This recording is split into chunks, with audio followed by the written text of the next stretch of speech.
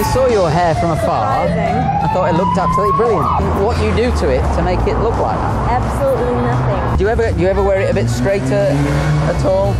No. No? No. Okay, I like a mixture, you see, of kind of straight and curly, but it looks brilliant. I know curly hair can be hard to manage, but it can look brilliant if you know how.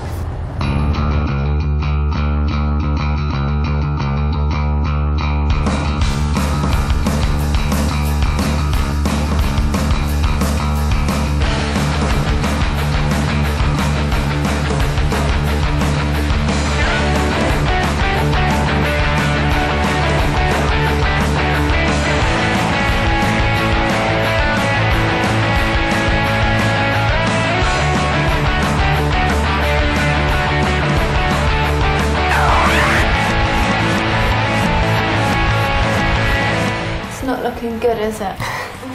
I've seen you look better. I think uh, we should put uh, curls in your hair. You fancy that? Yeah, sounds good. Be a nice change, wouldn't it? Exactly, yeah. We'll do this thing where we do it very smooth and quite flat up here, but a really nice curl and texture on the ends. Yeah? Sounds good. Pretty good.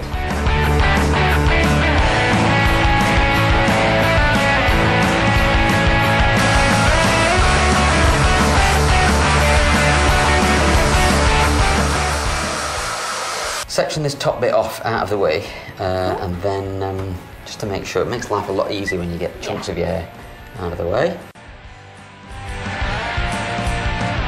Nice. And then we'll start this underneath bit, okay? We're going to use these little curling tongs. Yep. They're very hot. Okay, be careful. Be careful. Quite big sections. Get them around there. The smaller the curler, the tighter the curl will be. And the longer you leave it on as well, the better it'll be.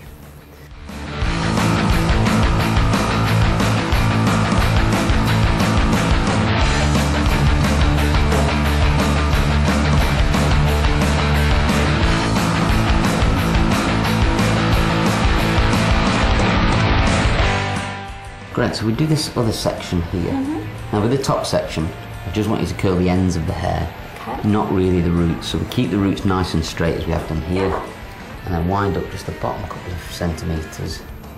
Keep going, keep going, keep going, keep going. Great, and stop. Leave that for about five seconds. And take it out. Brilliant. Looks good. It does, but it's not finished yet.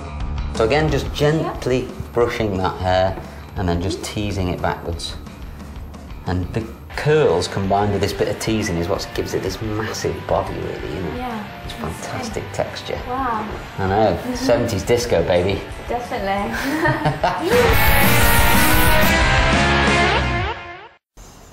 What do you think? I love it. It's pretty good, isn't it? Feels this good.